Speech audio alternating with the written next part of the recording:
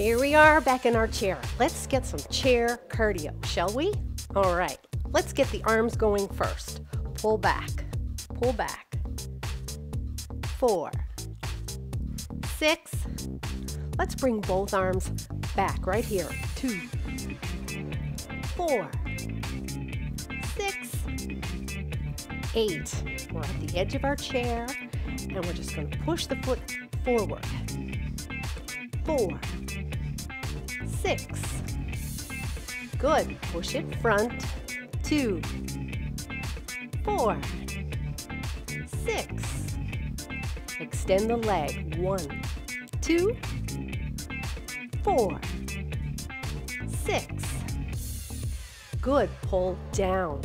Two. Knees coming up. Four, six, eight. It's chair cardio. Let's get it going.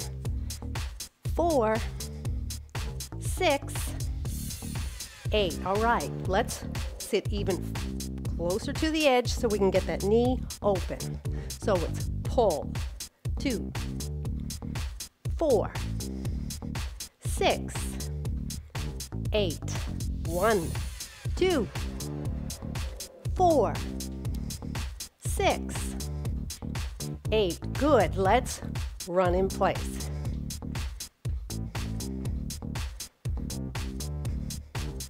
Can we go a little faster? Double time. Sit up nice and tall. Good. We're going to start to lift the knees again this time. Bring the arms to opposite sides. Feel this in your abs. We're going to make the arms a little bigger, but we'll keep the legs where they are. Two, four, six, eight. I have to move myself a little closer to the edge. I started to slide down. So why don't we reach for the inside? Four, six, eight again. Two, a little rotation at the hip. Good. All right. Arms are here. Side, side. Good.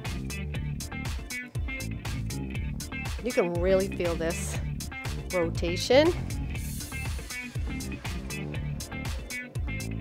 Good. Bring it up all the way. Reach. Two, three, four. Here we go. Working through the sides. Keep your back flat. Good. Take it down. Few little stretches before we finish up.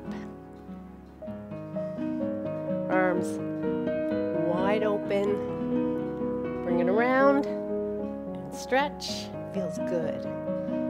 And around and stretch. Good. One leg to the front, leaning forward at the hip. Nice deep breath. Other side.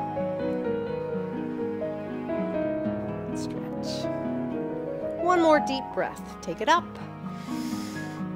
There. Just a little mini cardio in your chair. Have fun.